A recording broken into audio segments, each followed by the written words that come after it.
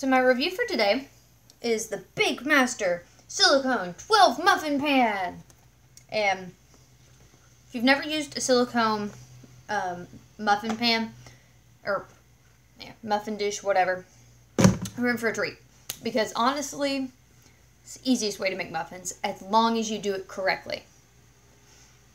Um, if you're doing something that hardens, chocolate or ice even.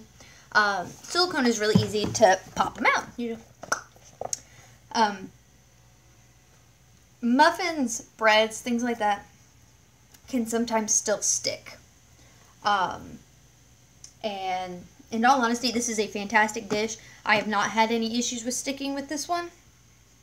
Um, I think it's because of how the silicone is made. It's um, thinner here than others I've used. So uh, definitely really cool. I would check it out. And it's not it's not a sixer because I have the worst trouble with having to do two six muffin pans. I don't know if anyone else has that problem or if anyone else even sees it as a problem. I do. It is this is a fantastic, easy to use dish. Great and it's easy to store. You know, you got to squish it a little or put it around something you can, it pops right back because it's silicone. Um, easy to wash. Stick it in the dishwasher.